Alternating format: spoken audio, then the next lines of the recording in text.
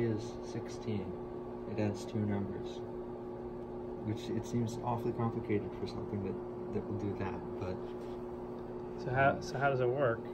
so let's grab a pencil.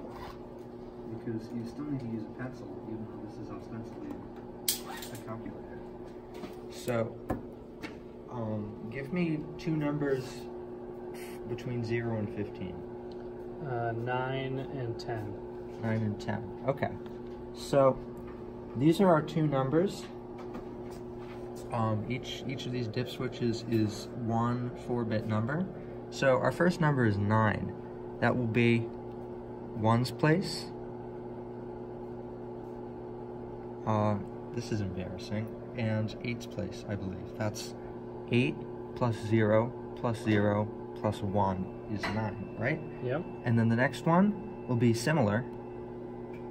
Um, 2 plus 8 is 10. And these numbers are in binary, which you probably figured out. And then our output is all the way over here. And that should show the sum of 9 plus 10, or 19, in binary.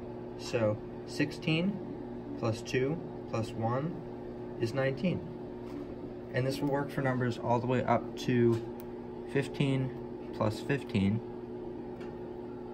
Oh, I turned them all off. If we turn them all on,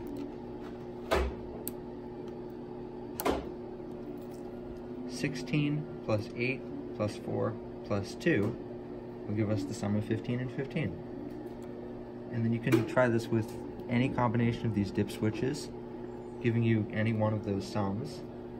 And they go through all of these um, logic gates here. So these, these are all discretely packaged logic gates.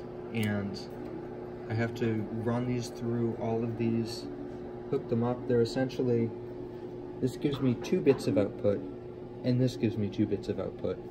And so I have a total of four bits. And it's not very user-friendly, and most of it is math that you could do in your head, but it's still pretty complex, judging simply by the number of pins I had to connect of those logic gates.